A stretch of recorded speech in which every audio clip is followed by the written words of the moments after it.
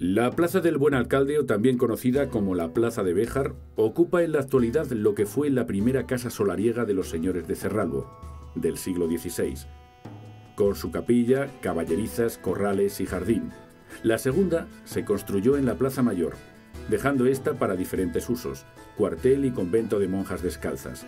Después de la marcha de las monjas, cayó en desuso hasta su ruina y desaparición. En 1849 se decidió convertirla en plaza.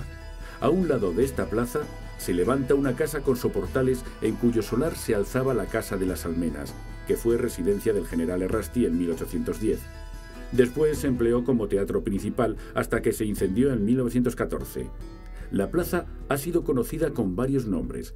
La Plaza de las Descalzas Viejas, la de la Contaduría, Plaza Nueva, Plaza de Béjar y finalmente en 1929 se dedicó al buen alcalde.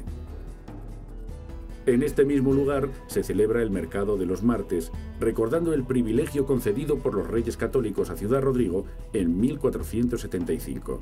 En la actualidad, cada martes se pueden adquirir productos hortofrutícolas cultivados en las huertas del río Águeda, así como otros productos artesanales de la tierra.